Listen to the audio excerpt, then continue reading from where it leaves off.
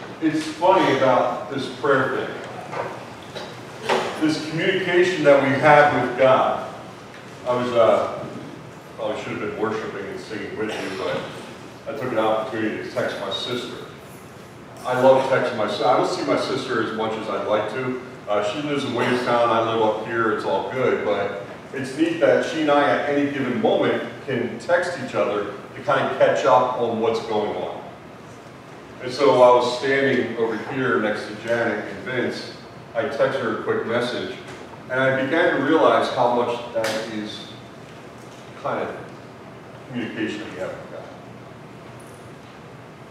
God. Difference is I don't actually have to form words. Difference is I don't actually have to know what to say.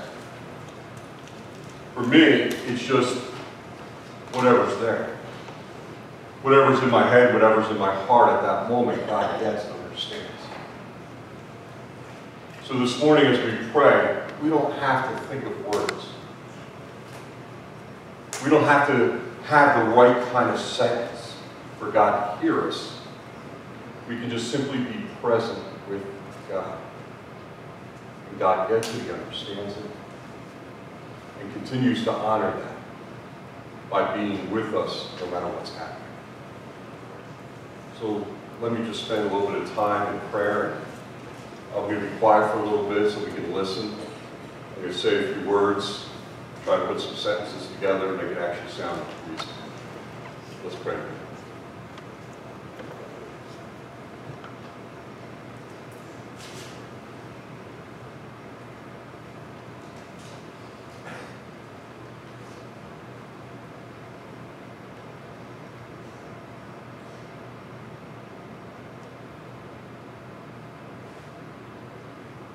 God, we enter into this time of talking to you. And God, there's so many, at least I think, or at least I believe, there probably so much going on inside all of us. Anticipation of what the week will be, that maybe stress us out. Maybe some concerns that we have about people that we love.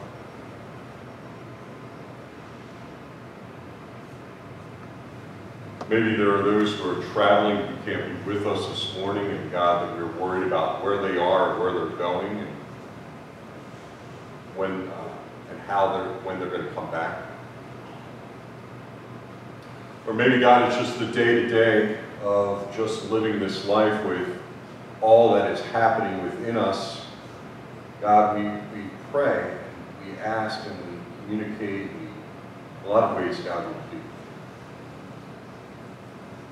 Not so much to make sense of what we see, what is going on around us. But God, that you would just continue to remind us, that you would make us very aware that God, you are with us.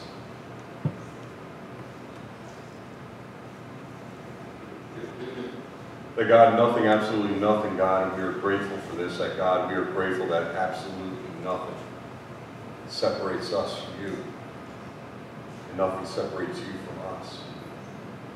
That God, that you are present with us in every moment of every day. That God, no matter what the circumstances may be. So God, at this moment, God, we take a moment to pause. And so friends, we take this moment to pause and just think about those who are in our heads and our hearts right now, God, who, God, are in, friends who are in need of healing, those who are in need of grace for their journey, for those, God, who are for us, friends that we know that so desperately they need this faith, this uh, dependence on you.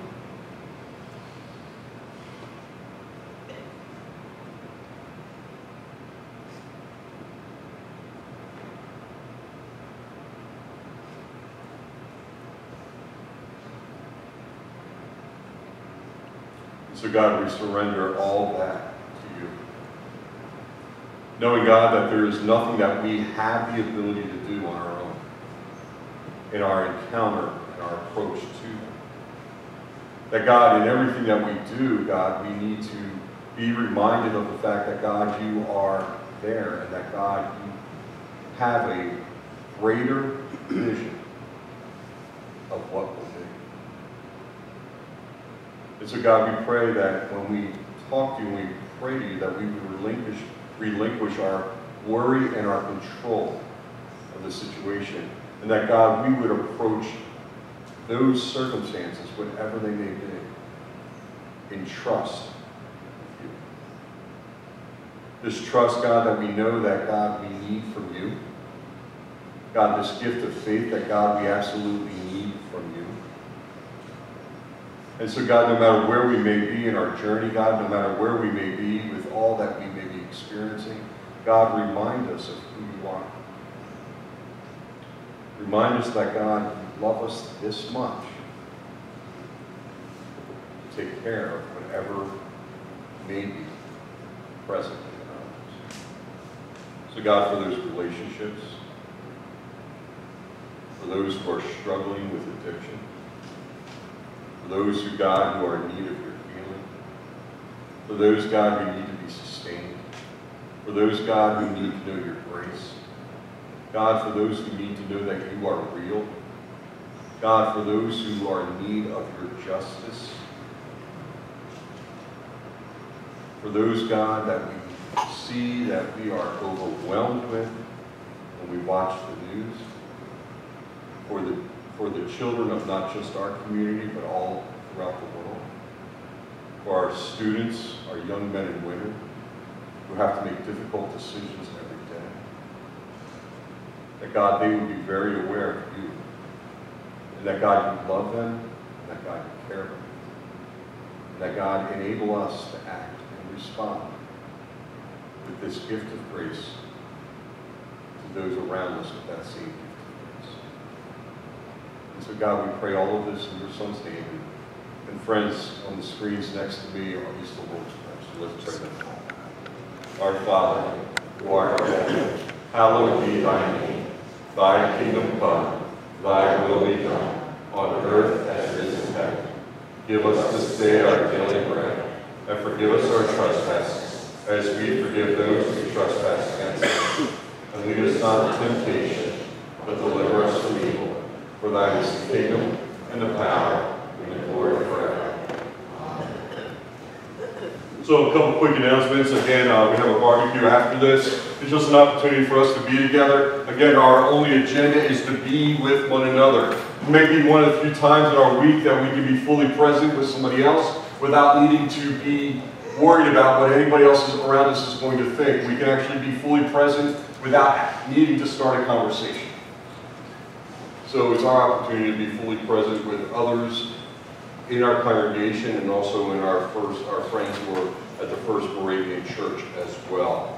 Um, we are um, also in support of Loads of Love. You'll see a Tide Pod container out in the um, lobby, and in that lobby, you just, hey, if you have change in your pocket, which I don't have anymore, but you got change that kind of muddles around at the bottom of your purse, which I know does happen.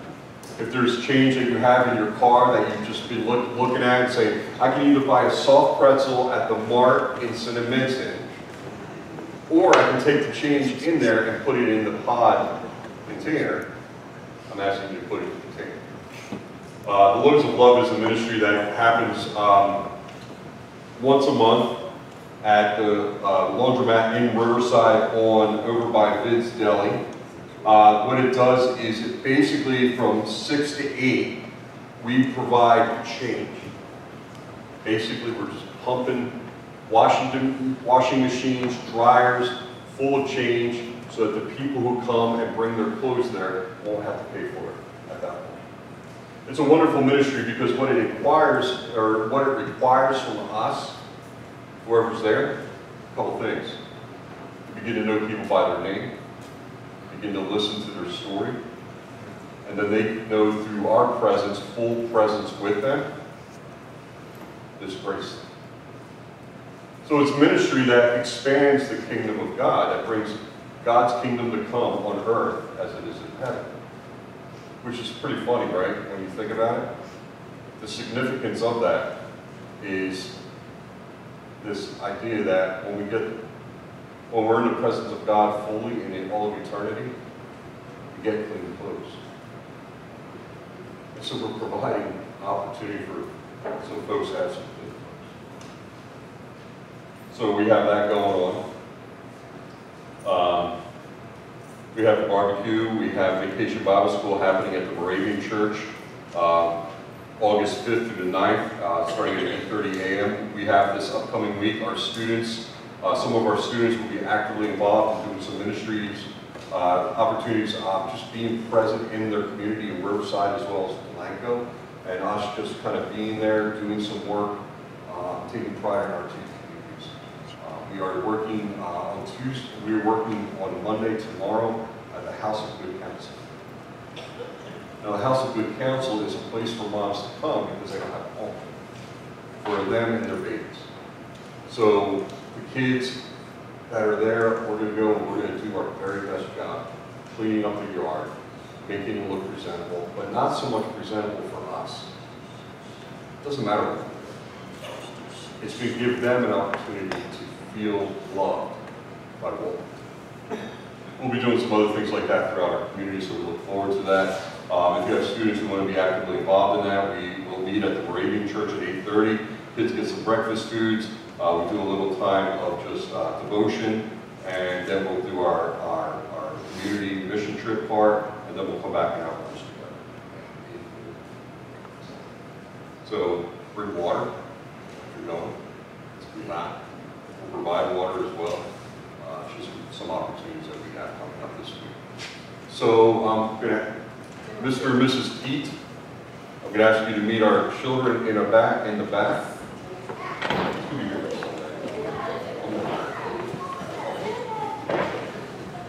Uh, Natalie, you're going the wrong way. All right, uh, kids, you can meet Mr. and Mrs. T in the back for Sunday school. Uh, next Sunday at 10:30, um, we will have the privilege and the honor of having Timothy Noble here to lead our time of worship and as well as our singing.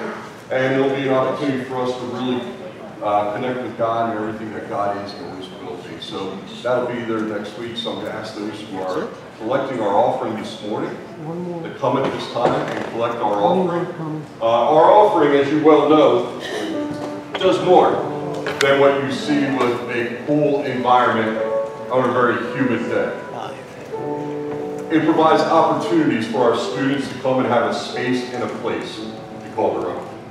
It's for our Sunday school kids who come, not only for Vacation Bible School, but also meet downstairs uh, for Sunday school. It's an opportunity for us to do ministry together with the Moravian Church when it comes to not only their Vacation Bible School, but also our Vacation Bible School, to do barbecues, but also to have a community outreach, meaning like tonight coming up in, in October, uh, Easter egg hunt over at our, our elementary school, but more than that, it gives us the privilege and honor to connect in relationship with those in our community. So that's why we do. That's why we're here. That's why we collect an offering.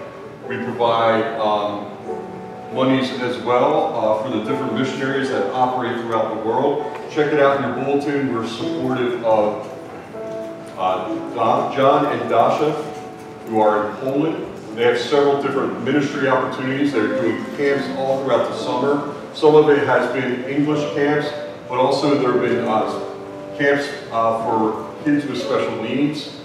And just opportunity after opportunity for kids in Poland, in their area of Poland, to come to know uh, Jesus as Lord and Savior. So we, we are privileged and honored to uh, partner with them.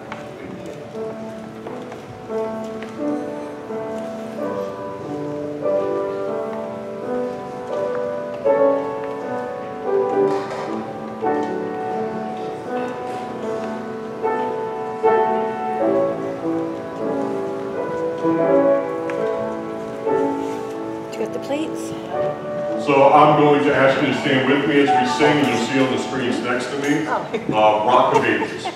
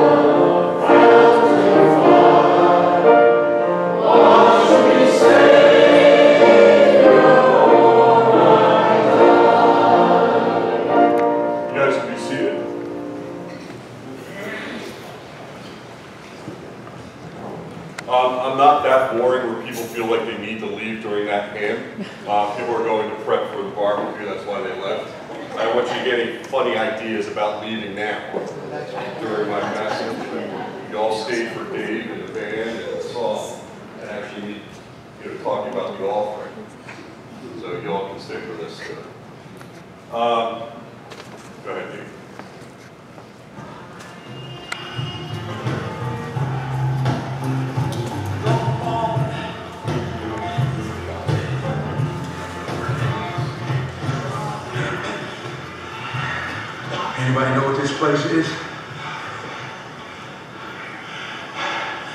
This is Gettysburg. This is where they fought the Battle of Gettysburg. 50,000 men died right here on this field, fighting the same fight that we're still fighting amongst ourselves today. This green field right here, painted red, bubbling with blood, young boys, smoke, and hot lead going right through their bodies. Listen to their souls, man.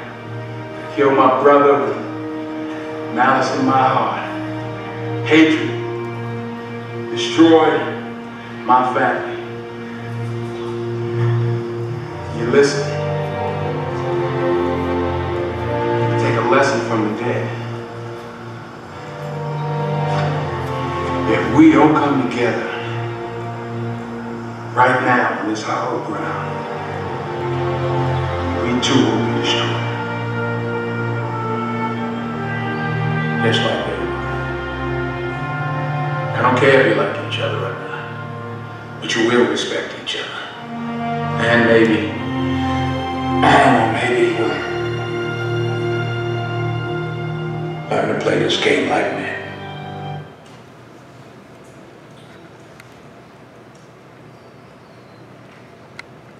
My favorite part of that um, message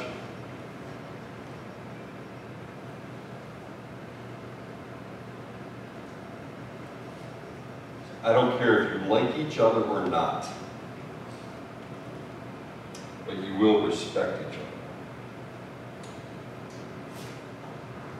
So I'm a, um, bit of a um, quote story nerd.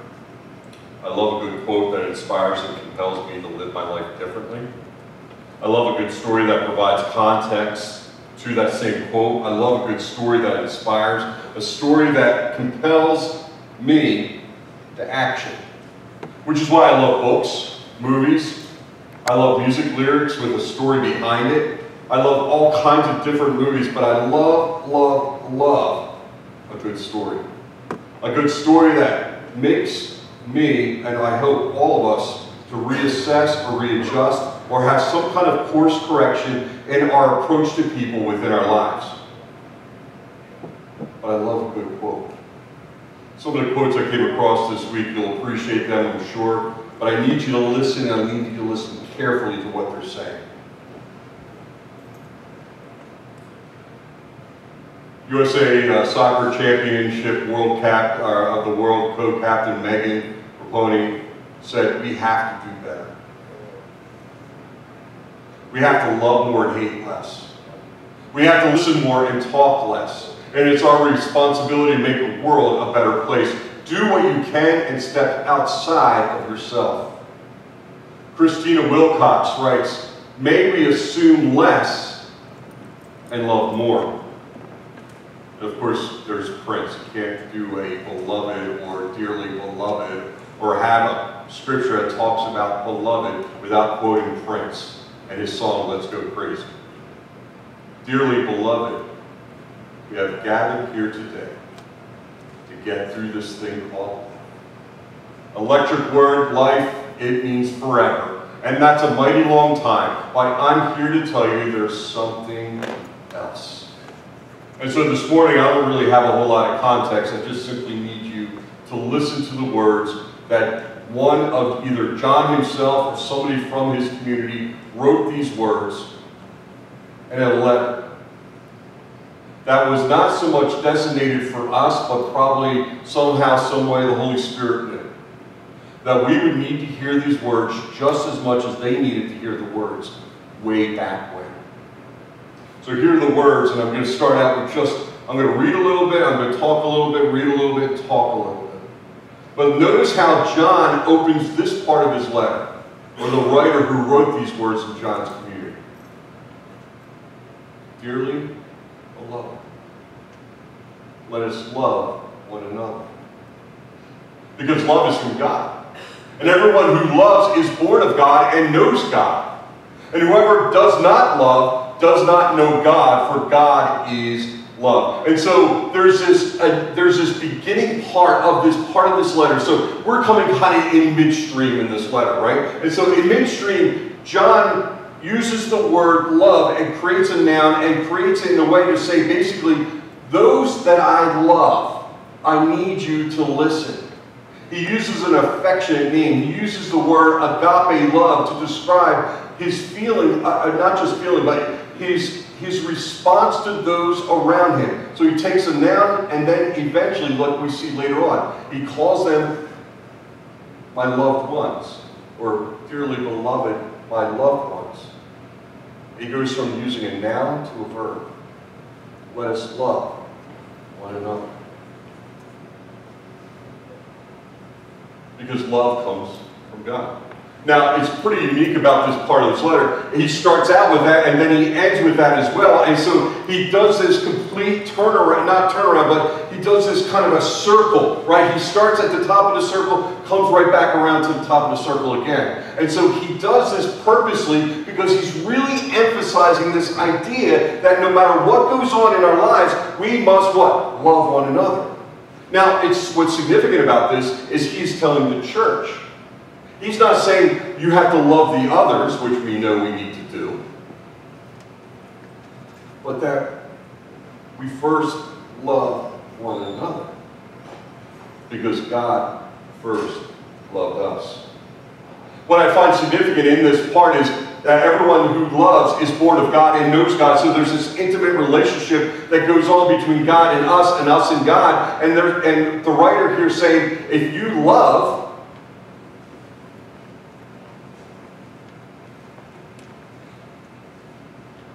people will know this about you.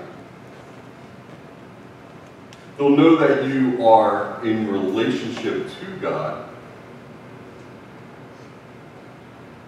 and know God and God knows you in a very real way.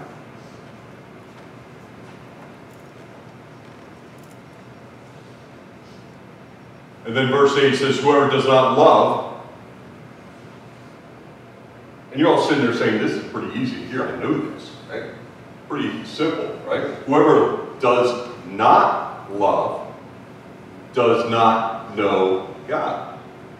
And here's what's significant about that part of that verse in verse 8. It says, For God is love. It doesn't say love is God, right? Because if we identify love is God, we would identify that idea of love through our own idea of what love is. So God reassigns this idea that God is love, meaning God is the one who defines how we love. Now, if we were to look at the character of who God is, what would we see? We would see that love is sacrificial. That love is defined in how we approach people or initiate a relationship with people. Love would be seen as love that dies to self and not so concerned or consumed about myself as more, more concerned and consumed about the other person. So God redefines for that culture what love is. To quote Foreigner from the 80s.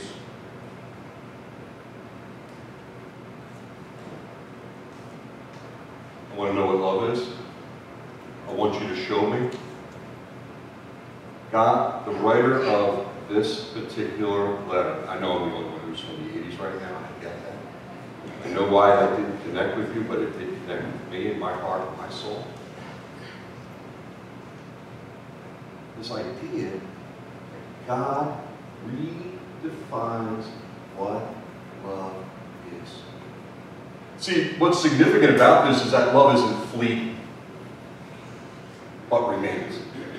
That love isn't just a feeling that we get when we see somebody or know somebody, but that love is a decision that God easily made and willingly made for us, for humanity, for the ones that He created and created in God's own image.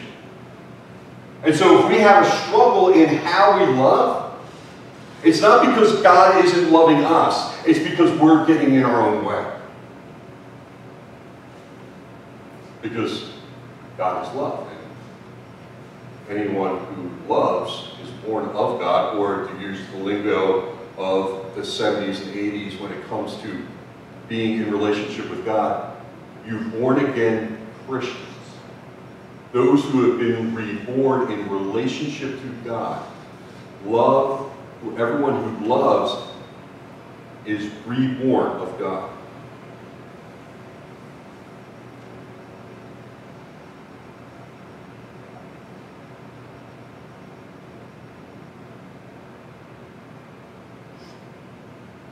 Now, you all know I've been saying that in the last couple of weeks, right? I've been doing a series of sermons on how to live and what does it mean to live, and this is what I mean, that we love our neighbors, right? And that's a significant part of what we are. But what's significant about this is that John's not writing about our neighbor, meaning those in our community.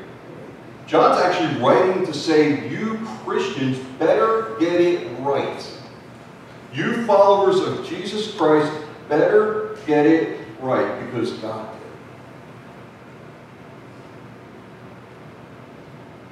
He is talking about how we are to love one another so that God's love will be revealed in us, that constant, consistent, knowing kind of love that is sacrificial, unconditional, and always fully present. Why? Why would he say this to a church of people who are supposed to get it right? Why? Because he knew that we struggle to love one another because we have an expectation of one another that is different than the only expectation that we have of ourselves. See, what's significant about this is that John is placing on them saying, My expectation is that this love that you have received from God needs to be given well. Because how is everybody else outside of this going to know about who God is? But it starts with who God is, right? See, that's what's significant about the story that John has. This, this scripture, this, this nerdiness, I kind of get a little jacked up with this nerdiness of this scripture that in verse 9, this is the source of that love. Right? So we can't do it on our own. We know it's impossible, right? Go on a mission trip with a bunch of other Christians and you will find out quickly how much, how difficult it is to love one another. Get into a meeting where you disagree with somebody else within the church, and you will find out, friends, how much you have a hard time, difficult time loving one another. Talk about different ways of worshiping God on a Sunday morning with a bunch of Christians. You will find out how difficult it is to love one another. The Methodist Church at General Conference and at our annual conference got the world around us got to witness how difficult it is for us to love one another when we disagree. And let me tell you something, friends. That's because we forgot about verse 9. Verse 9 says, God's love was revealed among us in this way. God sent his only Son into the world so that we might live through him. I love that. Live through him. Because, so in other words, I can't do this on my own. I can't love my, my brothers and sisters in Christ unless first I realize that God sent his son into the world. John chapter 1, verse, um, verses 14, 15, and 16, or uh, 14, 16, 17, and 18. And, the, and this would be reminiscent to those who are in this community that when when this was said, they would go back to what was originally said with the Gospel of John. And the Word became flesh and lived among us. And we have seen his glory, the glory as of the Father's only Son, full of grace and truth. And from his fullness we have all received grace upon grace. You know, you want to know how you add to your number here? You want to know how you add to the number of people in any congregation, anywhere, at any time? It's not having the best band, it's, it's doing it well. It's when people know that they can love, they can come in here and know that they're loved. Love Because verse 9, God's love was revealed among us in this way. God sent his only Son into the world so that we might live. And in this is love. Not that we loved God, but that he loved us and sent his Son to be the atoning sacrifice of our sins. We have to cross up every single week because we don't want anybody to make the mistake of knowing what we stand for and what we, what we cling to, as Rock of Ages said. The cross of Jesus Christ is in the utmost the foundation of what we believe and why we believe. It's, it's what enables us, it's what compels us to be who we are in love with God and in love with one another. It's the very thing that, that shows us and exemplifies the unseen God through Jesus. This atoning sacrifice. This word atonement is, as my mom used to tell me when I was a kid, atonement means this. It means at one with God, which in other words means I can't do this on my own unless I'm at one with God, and God's the one who made the initiation, initiated that relationship with God, so I wouldn't have to do it on my own. That I didn't have to go after God. God came after me and initiated that relationship with God, and the only thing I had to do was trust. So this idea of atoning sacrifice or atonement or it means a reconciliation of a broken relationship. Our relationship with God was broken. It didn't make sense. We couldn't live. We weren't living. We weren't living the way that God wanted us to live. We weren't pursuing the path that God has given us to pursue God. And so Jesus said, or God said, I'm going to send my son Jesus, and he's going to die on the cross and be resurrected so that everything that was broken in God's relationship with us would no longer be broken. There's a reconciliation that goes on, which I think is kind of cool because it talks about that there. But I also believe that the reason why there's this is mentioned in the atoning work of Christ, it means our atoning sacrifice for our sins. This idea means that there are things in our lives that we need to reconcile with others. See, that's a whole part of that love thing. It means reconciliation with others. So he leaves that in there purposely and says, in this love, not that we loved God, but that he, God loved us. So God initiates. God sent his son to be the sacrifice, the atoning sacrifice for our sins, so that nothing would ever get in the way of God's love for us and our love for God. I love this quote from Brennan Manning writing off the gospel. God is not, is not moody or capricious. Ever see me in the morning before I have my coffee, you'll know what moody is. God knows no seasons of change. God has a single, relentless stand toward us. God loves us. God is the only God man has ever heard of who loves sinners.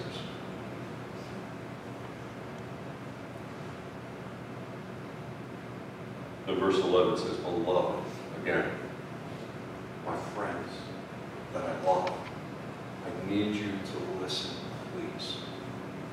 Since God loved us so much, talk to any mom or any aunt or any parent or any grandparent or anyone who has or has a connection with kids, you hear this I love you so much kind of moment constantly. Now think of the parental influence or the parental God, this Father God who says, since, or the writer says, since God loved us so much, since God has willingly give us, given us his love, since God's work of forgiveness and grace and salvation is completed there, That God doesn't need to go to the cross constantly for our sin. That his that the work that that's the sin that separated us from God and God from us is now forgiven and forgotten and released, and it's completed there. Since God loved us that much, that God was willing to try to save all of the world around us and not just those who are here right now.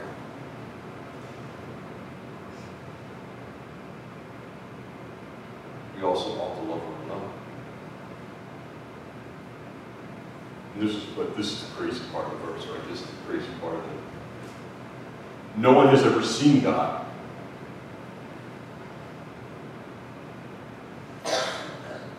If we love one another, God lives in us, and His love is perfected in us. In other words, if we love, notice the word if. I don't know if John just wasn't being hopeful or optimistic, or if John woke up without his coffee. But John said if, and so John knew the human condition.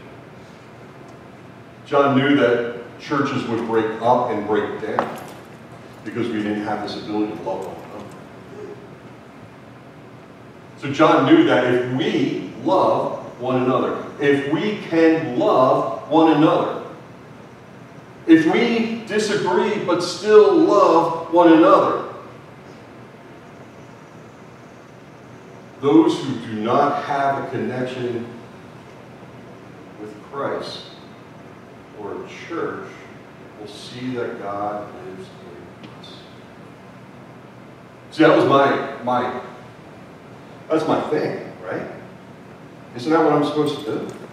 Right? I'm supposed to lead you, to grow you up, so that you can love one another. So that no matter where we stand on any kind of issue, no matter where it may be in our conversations with other people, and what we may believe or see happen in the general church and general conference, no matter what their stand is with human sexuality, we can still love one another.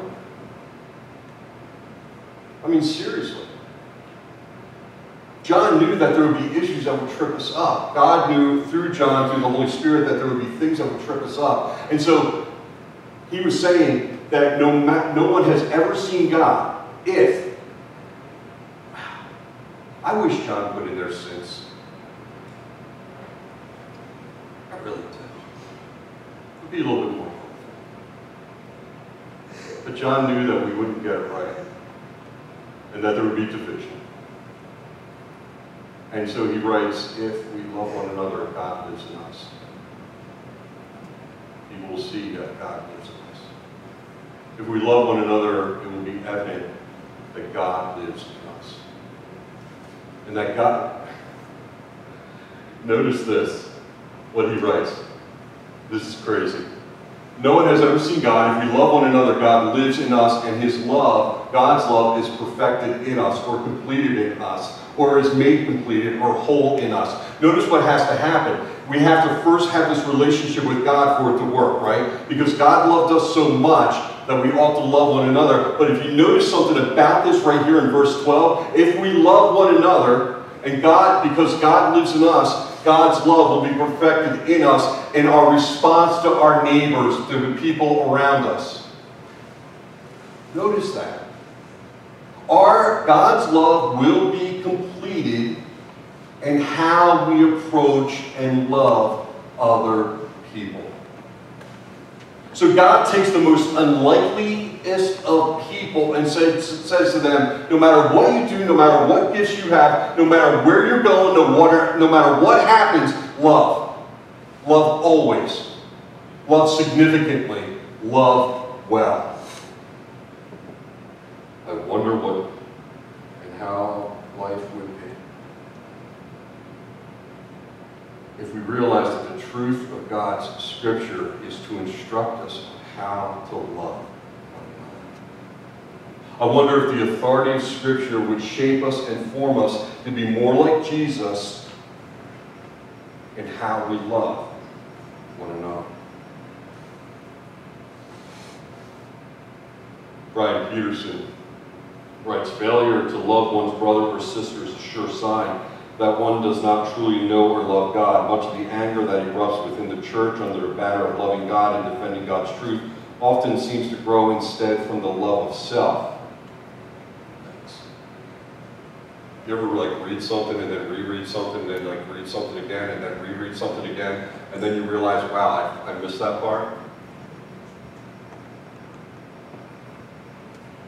So within the church under the banner of loving God and defending God's truth often seems to grow instead from love of self and of the power that comes from winning the argument even at the expense of church's unity and love.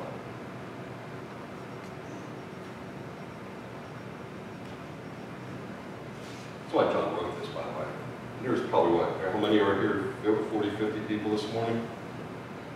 It doesn't matter how many people, here could be five of you here, and it's still preach the same message, same kind of passion, fire, compelling. You know why? Because it really doesn't matter what I say. It's how you will respond to what God says in God's Word. And how you will be with everyone else out there. Including the people here. Including the people who disagree with you. Including the people that you thi- are theologically different than. Trust me, I am theologically different than my mom and dad, which is fine. I'm good with that. They're good with that. They love me. Their. Of course they.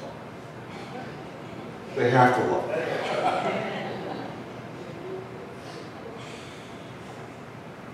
But we'll never respond to each other out of love for self, more out of a love for God. My sister and I are completely different theologically. We are completely different when it comes to the realm of what we believe is in the scriptures. But we still love each other. I'm texting her during church. Are you kidding me right now? We may not agree politically, because you know what? When you call yourselves conservative evangelicals, the conservative party is political. Evangelical is what you believe about the cross and a personal relationship with Christ. I think I'm more modern progressive than I am evangelical. However, I still believe in a personal relationship with God, and I believe in the cross and the resurrection as my foundation. Because of that is why I do what I do. And because of that, I'm saved and sanctified and forgiven and regenerated. I'll use all the Wesleyan terms that you need to have. But just because I see people differently than you doesn't make me wrong any more than it makes you. Because here's what I know about this, friends. No matter where we may stand politically or emotionally or theologically, this is the one thing that we have to know more than anything else. And you have to get this through into your hearts. We will not be the church if people, all people, don't matter. All people matter to God, no matter where they are, no matter what's going on in their lives. No matter if you believe it's a choice or you're born this way, we are to love, no matter what. And the best way to do that is this. I told you I'm a nerd, right? I love good quotes. I love the story behind quotes. I love good music lyrics because I love the story behind the music lyrics. I love a good story. So this past week, we did Loads of Love. We had a meeting with Loads of Love, and we're sitting around and we were talking about this one thing. We were talking about the fact that there was somebody who was coming in because it goes from 68, where some of the folks there believe that some, they were taking advantage of everybody's good graces. by doing not just their laundry, but somebody else's laundry, and then somebody else's laundry, and then gathering up all the laundry from their apartment complex and coming in and, and taking advantage of us. And I looked at them and said, what's the big deal? They're like, what do you mean? Isn't that grace? Like, what do you mean? Like, grace is undeserved, unreserved love. We don't deserve it, but we still get it. And then this is what I said to them. And this is significant. I need you to hear me on this. I said, do you know the name of the person that you believe is taking advantage of you? They're like, no. All right, cool.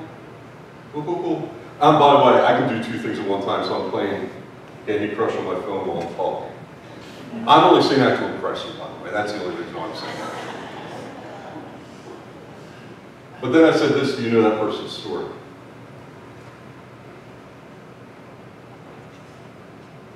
You know their story? You know their name? It doesn't really matter. So friends,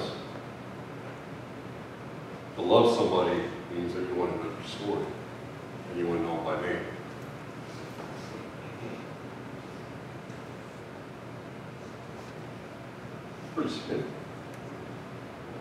People will know that you are, that they, that they're loved by you, or will be loved by you, because you have an ability to love another, and that love comes from God. And so I'm going to ask you this question. If you have a hard time loving the people around you, if you're having a hard time loving people who are theologically different than you or politically different than you, then I'm going to ask you this simple question. How much do you really trust God? How much do you really know God? How, do you really, I mean, if you read the scriptures, you can't help but see that love means everything to God. You know, love is our defining mark of who we are, the maturity of who we are. That's the crazy part about it. Like, how much we love shows how mature we are and how complete we are and who we are in relationship. So, let's see. That was the challenge. Oh, challenge is love is not a gift to hoard. What you do with this gift? Oh, this is the one I wanted to remind all of you about, remind myself. Who you love without distinction? Who you love without judgment? Who you love without labels? Who you love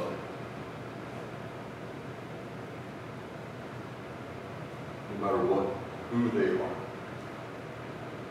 See, the maturity and the evolution of your faith is determined by who. So the crazy part about the good news of this is that God will choose the most unlikely to reveal God's love if you are willing and available to go where God is at. So I'm going to ask you to stand with me. Eileen's going to play for us, and we're going to sing. Uh, I think we're just going to sing the first verse uh, of Nothing But the Blood. Let's stand together and we'll sing this together.